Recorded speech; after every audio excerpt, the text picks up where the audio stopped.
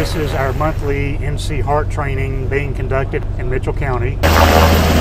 NCHART has a couple of primary missions. One of those is transportation of injured and stranded persons from a bad place to a good place.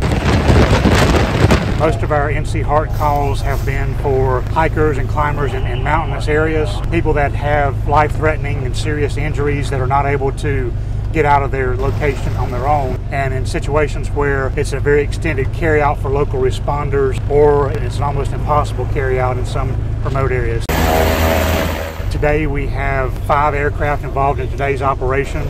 Scenarios involve everything from extraction of a stranded hiker, climber, on a waterfall to survivors that are stranded on an island because of rising water to injured hikers uh, that have to be uh, lifted out from a, a remote area and taken back to a safe place for transport to a hospital.